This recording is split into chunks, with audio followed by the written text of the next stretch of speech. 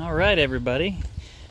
If you watched my unboxing video, I mean, not really, really unboxing. I don't, like I said, I don't really care to watch five minutes of people talking about what's inside a box. If you order one, you're gonna get one. But here's the uh, the uh, Axial SCX10 base camp, the one I got, and uh, yeah, I just opened it up and I figured we'll give it a quick go on the backyard course, coming together.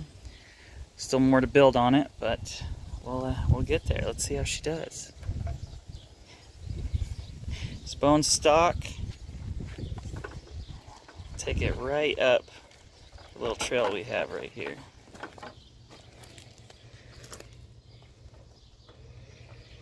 Oh yeah. I'm really liking the tires, those Falken Wildpeaks. Oh man.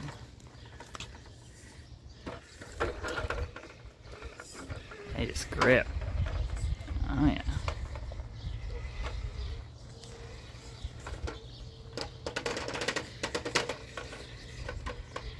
So what I'm hearing is a lot of body catching.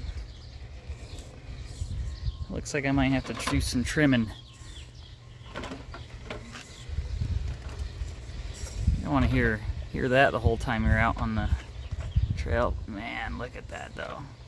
So the only mod I've done is I removed the uh, the sh uh, shock uh, travel limiters off of it. And then the battery, I didn't use the back mounting spot. I actually used the side to even out the weight.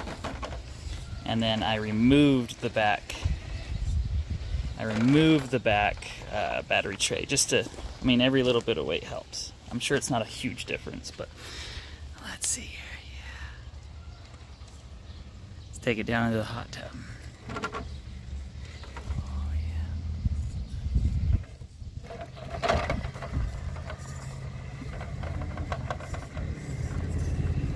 Look at that. Oh man, is he gonna make the hard line? Yes!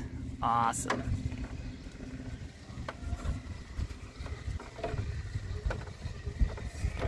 It up the flex bridge. And if it's catching now, I'm sure it's gonna. Oh, yeah.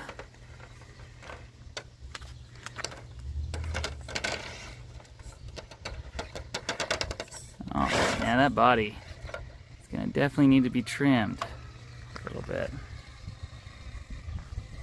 Let's see how this Definitely quick on the reverse too.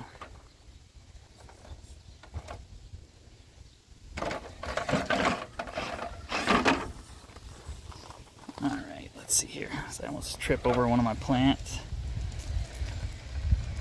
Let's see.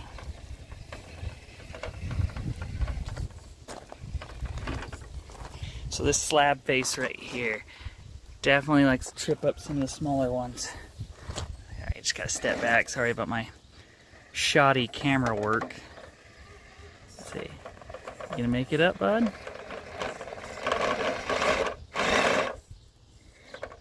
Alright, let's pick a let's pick a different line. Okay, so what we're gonna do is we're gonna take that right front tire, put it up on that rock, clip it. That, there it is. Come on. Yes. Nice. Nice. Like I said, I ordered it in the concrete gray, but showed up with a blue one. But I'm not gonna lie, I'm not not hating the blue right now in person. Pictures make it look like a lot more like a baby blue, but in person it definitely has pretty good color to it. Oh yeah, look at that. Look at that. It just wants to tear into that body. Yeah, definitely do some trimming. That's on the to-do list on this one.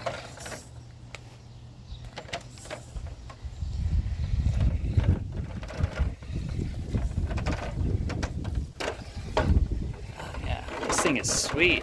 Like I said, I think the only thing that's really hanging me up right now is just that body just grabbing on those tires and rattling. Okay, we're back here on the bench, and let me tell you what I've done over the last hour or so. Okay, so amazing. Super awesome. Holy crap. Really impressed with these tires. The whole the whole thing is just great for what it is.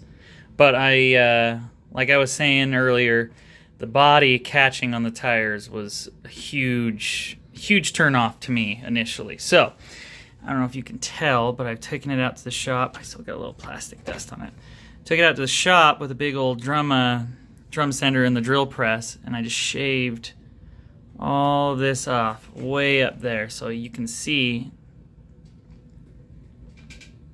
now it doesn't want to hit because this was clear down to like there was probably like a whole nother like eighth of an inch or more. Especially on these edges right here the corners were just very jagged and they were catching. And here on the back you can kind of see I need to clean that up a little bit but same thing back here. Um, I took a lot out of the back here because this back tire was really catching but as you can see now nothing Oof, that's not, a, that's not the straightest line I've ever cut. I might have to fix that a little bit. But as you can see, now I can go full flex and not hit it. The next thing I notice, this body likes to scratch. And under the sun, you can tell a lot. And I really like to keep my stuff as clean looking as possible. So what I did was I took some links, some stock links, off the uh, UTB 18 right there. Gorgeous. And mounted them with some screws to the right there. And uh, they still, uh, they turn like links. but now I'll have myself a uh, nice little uh, skid guard up top, especially if it rolls. I'm a big believer in using links as uh, spare uh, skid skid guards and stuff. As you can see right here on my uh, UTB-18, I've actually took stock links off my TRX-4M. Sorry, my finger was in that. And actually heated them up and turned them into skid guards on the top there.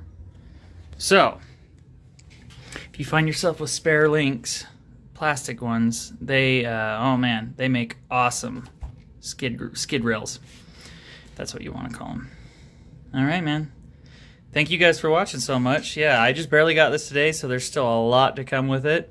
Um, but so far, the mods are shave the body. I took the uh, flex limiters out of the uh, uh, shocks.